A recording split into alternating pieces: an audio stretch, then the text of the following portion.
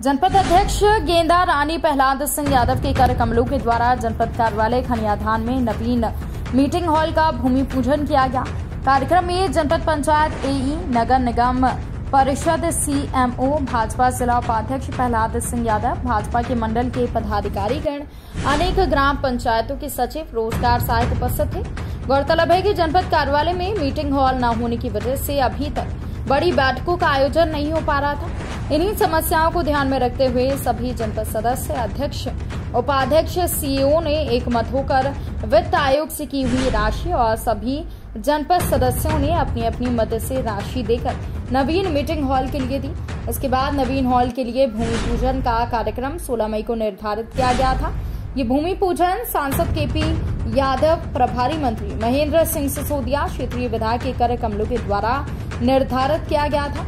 जो किन्हीं अपरिहाय कारणों से निरस्त कर दिया गया था। इसके बाद ये भूमि पूजन कार्यक्रम सभी की सहमति से आज दिनांक को जनपद अध्यक्ष गेंदा रानी प्रहलाद सिंह यादव के द्वारा संपन्न किया गया। सर आज जो भूमि पूजन का कार्यक्रम हुआ है इसके बारे में बताइए किस बिल्डिंग का निर्माण होना है और किस पर्पज से होना है? ये आज जो भूमि पूजन आप सब लोगों की उपस्थिति में किया गया वो एक मीटिंग हॉल का निर्माण है। और इस भवन के लिए जो राशि पंद्रह वित्त आयोग से आई थी और जनपद सदस्यों की अनुशंसा पे वो पैसा व्यय होता है तो उसमें सब जनपद सदस्यों ने अपने हिस्से की राशि में से इसके लिए योगदान, अंशदान दिया है।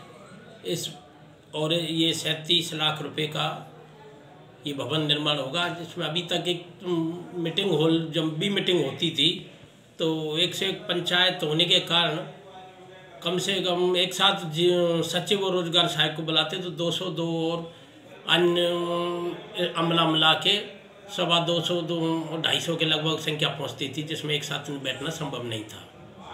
उस समस्या से निजात दिलाने के लिए ये कमी बहुत समय से महसूस की जा रही थी तो सदस्यों से अनुरोध किया और सदस्यों ने अनुरोध को स्वीकार करते हुए कार्य योजना में इस काम को अनुमोदन किया। इसके बाद आज जो और इसकी निर्माण एजेंसी आर विभागीय एजेंसी है।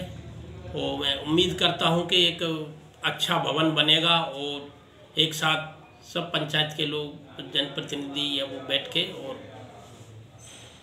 अपना विचार विमर्श और शासन की योजनाओं का विचार विमर्श कर सकेंगे। सर लगभग कितनी लागत की ये भवन निर्माण है? सैंतीस लाख रुपए का है ठीक है